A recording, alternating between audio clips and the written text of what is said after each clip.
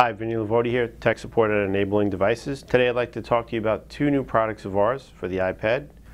The item number 4101, iPad cordless super switch interface, and our item number 1052, the iPad super switch. So let's get started. I'd like to show you the differences between these two interfaces for the iPad and what you get included with them. Both interfaces are going to come with two cables. One is a USB charging cable, so you can charge this through your USB port on any computer. They have lithium ion batteries, so there's no replaceable batteries. They just need to be charged. Takes about uh, four or five hours to charge on the USB port.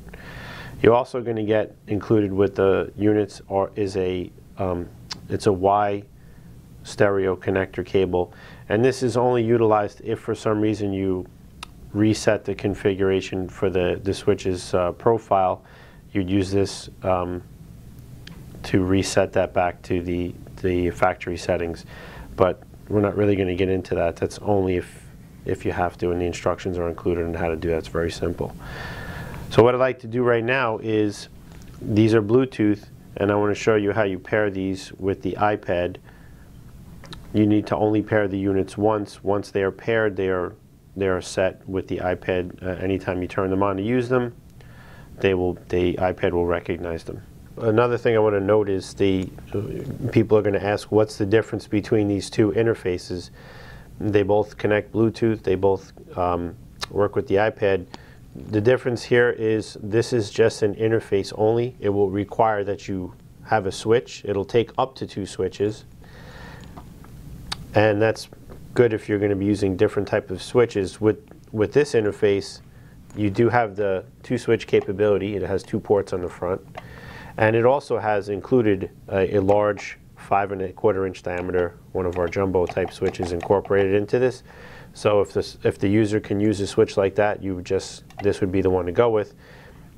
If you're going to be using a, a variety of users, uh, or for someone who, who cannot use a, a, switch like that, maybe they need a head switch or a sip and puff, this would be the unit to go with. So now let's get started in pairing up the interface with the iPad.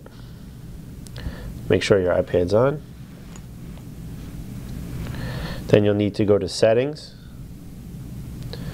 and then you want to go to Bluetooth.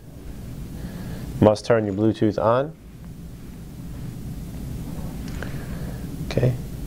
And the Bluetooth is on the iPad. And how you get this set up, you need to put these interfaces into what is called a discovery mode. And how you do that is there's a red power button here. You need to hold that down until the light starts to flash rapidly and it will it's an AirTurn this is our Bluetooth device we just ask it, it's not paired right now. And we're asking the iPad to accept it and pair. It'll take a couple of seconds. Okay it's now the iPad is now telling me that it's successfully connected with the interface. And again you only need to do this one time. Anytime I turn on the machine, it will recognize the iPad. You can unconnect this if you want. If you wanted to disconnect it, you can tell it not to connect anymore and forget the device. And then it won't be connected unless you pair it again. Just keep in mind when you're syncing either one of these interfaces with the iPad that when you're holding down the, the red power button, that the light LED light flashes red and green um, quickly and simultaneously. If not, the unit will not sync properly with the iPad. The next thing we need to show you is we can close this out and we need to open up a switch friendly app. Again, very important, these interfaces will not work with the iPad unless you have, it will only work with a switch friendly app. So please just keep that in mind. You need to have apps that are switch friendly. Now that we have our switch friendly app open, I'm just going to show you how easy this is to use. These are, um, you can program your own messages for these icons. And if you tap on the iPad, it's raining outside. It will. I would like some chocolate chip cookies, please. So now with the iPad interface, plug your switch into the first jack. I would like some chocolate chip cookies, please. And every time I hit I my like switch, cookies, it's going to play the message. Now keep in mind, it is going to give you switch access to allow you to play the messages, but it's not going to allow the user to toggle up and down between these um, different messages. Somebody would have to do that for them. I would like some chocolate chip cookies, please. I would like some chocolate chip cookies, please.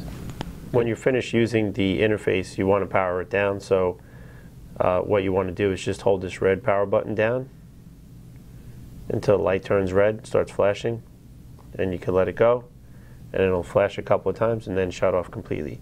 If you don't, it's going to drain the battery down the next time you go to use it. You'll have to wait a couple hours to recharge it. So very important, make sure you power down the units when you're done with them. So there you have it.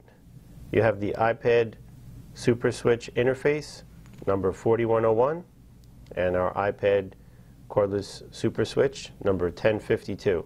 These items can be purchased on our website at enablingdevices.com or through our phone sales at 1-800-832-8697 and our mail order catalog.